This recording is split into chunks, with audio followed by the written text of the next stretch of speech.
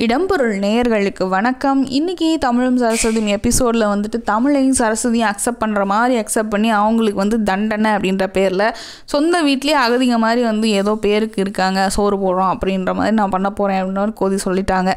அது மட்டும் இல்லாமல் கோதை வந்துட்டு ஆஃபீஸ்க்கும் நீ வா போ அதெல்லாம் எனக்கு பிரச்சனை இல்லை. ஆனால் நிர்வாகத்தில் முடிவு எடுக்கிறது கார்த்திக் மட்டும்தான் அப்படின்ற மாதிரியும் சொல்லிட்டாங்க. இனி நாளைக்கு எபிசோடில் வந்துட்டு அவங்க என்ன பண்ண போகிறாங்கனாக்க நம்ம சரஸ்வதி வந்துட்டு அத்தைக்கு வந்து நம்ம படிக்காதான பிரச்சனை அதை உண்மையாக்கிடலாம் நான் வந்து படிக்கிறேன்.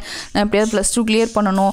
எக்ஸாம்லாம் அப்ளை பண்ணிட்டேன். இனிமேல் தான் எக்ஸாம் வரும். நான் ஏதாவது பண்ணி கிளியர் பண்ணி அவங்க மனசில் நல்ல பேர் வாங்கணும். நான் படித்து காலேஜுக்குலாம் போய் எப்படியாவது டிகிரி வாங்கிடுறேன் அப்படின்ற மாதிரி அவங்க வந்து பிளான் போடுறாங்க. தமிழும் வந்துட்டு இது ஒரு நல்ல முடிவு தான் நீ படிக்கணும் சரஸ்வதி. ப எனக்கு என்னால் நீ வந்து இது பண்ணக்கூடாது.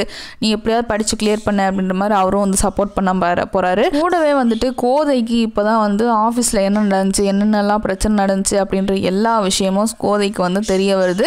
அது ஆஃபீஸ்க்கு வந்து தெரிஞ்சுக்கிறாங்களா? இல்லை சந்திரகலாவே வந்து உளர்றாங்களா? உளர்றது மாதிரி அவங்க வந்து சொல்ல போகிறாங்களா அப்படின்றதெல்லாம் நம்ம நாளைக்கு எபிசோடில் பார்க்கலாம். நீங்கள் நாளைக்கு எபிசோடில் வேறு என்னெல்லாம் நடக்கும்னு எதிர்பார்க்குறீங்க அப்படின்றத கீழே கமெண்ட் பாக்ஸை சொல்லுங்கள் கூடவே மறக்காமல் சப்ஸ்கிரைபும் பண்ணிடுங்க